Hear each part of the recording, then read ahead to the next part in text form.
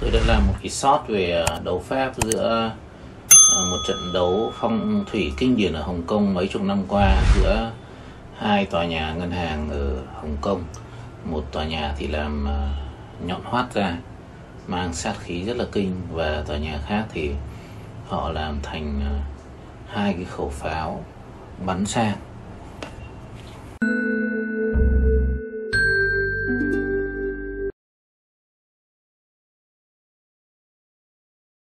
Đây là cái trận đấu ờ, khá kinh điển mà chắc chắn rằng là uh, ai học ờ, phong thủy cũng nên biết. Đây các bạn nhìn bên tay trái là cái góc nhọn này đúng không? Cái góc nhọn tòa nhà và nó chiếu sang bên này. Thì cái tòa ngân hàng bên này người ta làm thêm hai khẩu pháo bắn sang. Đấy các bạn thấy. Có thể quay cho các bạn nhìn này. đây các bạn zoom lên này cho bạn zoom lên. Đấu pháp này kinh chưa? Từ dưới thấp nhìn lên thì chỉ có thể nhìn thấy được thế này thôi. Đây của cái ngân hàng này. À, đây nhá của cái ngân hàng này. Người ta chiến đấu lại. Tất nhiên là cái tòa nhà này thì là nó mới xây xây sau.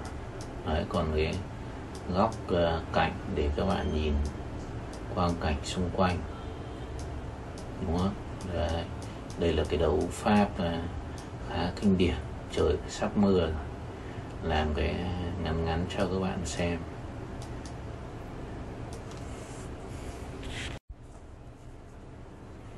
Đứng ngược lại à, 180 à, độ ở cái cảnh khác cho bạn nhìn thấy đây chính là tòa nhà HSBC này. Có cái khẩu pháo nhìn thấy à, kinh chưa? Đấy, nó đấu sang cái tòa ở bên đằng này. Đúng không? Đây là cái góc độ để các bạn nhìn thấy cái khẩu pháo này, zoom lên. Đúng không? Zoom lên thấy rõ khẩu pháo chưa?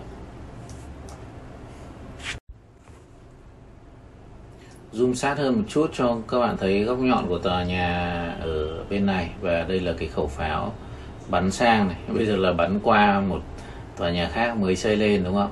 Và nhà này nhìn cái kết cấu người ta đang làm kinh quá thấy các bạn thấy khẩu pháo đang đấu pháp đang bắn nhau chưa?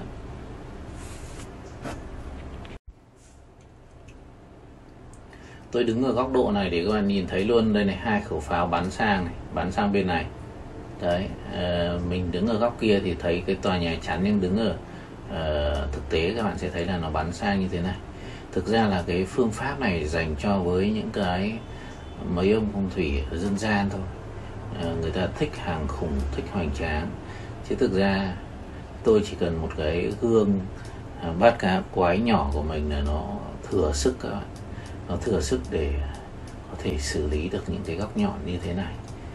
À, không nhất thiết phải à, dùng cái trận địa nó thế.